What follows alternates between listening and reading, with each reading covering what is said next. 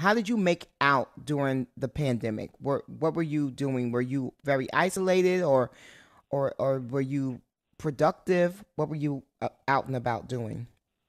I I kind of just hunkered down like everyone else and and uh, you know stayed at home and and I found it hard to be creative. Uh, mm. Just there was this idea of what you know this weird what's the point feeling that was in the air um, for yeah. a few months there.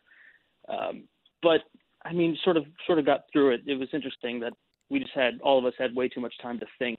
Um, mm-hmm. It's I don't know. It's it's uh, it's strange, but I, I luckily I haven't been affected by it. So I, I just sort of kept my head down and I, I did some voice work from my closet to try to stay productive. And mm-hmm. I don't know, we're, we're, we're getting through it now though.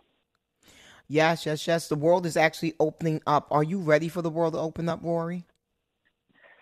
I I think so. Uh, I mean, uh, these Zoom meetings, I'm actually like doing well in, better than in person meetings. So I'm uh, okay. hoping to bring some of that to the the real world now. But uh, yeah, I think it'll take some adjusting.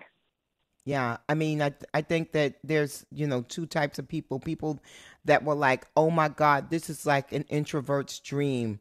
They cannot force me to come outside. They cannot force me to go to an event. They cannot force me to do press. I know that you have talked to lots of celebs and, and actors that are feeling that way, but then there are also people like I feel like there are a lot of people that probably, oh, especially older people, that perished during the pandemic, um, pand- pandemic because they weren't around people.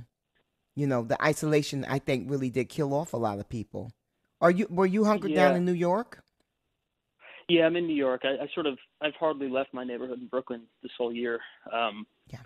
So yeah, I've just been I've been staying inside, and, and luckily I it didn't affect me too much. But I think yeah, I think you're right. I think like a third of people this really hurt and they'll never be the same again and uh, i think a, a, third of people had no effect this had no effect on them and then i think the last third which i i would like to think i'm a part of uh, they sort of used this time to um, to grow so so yeah.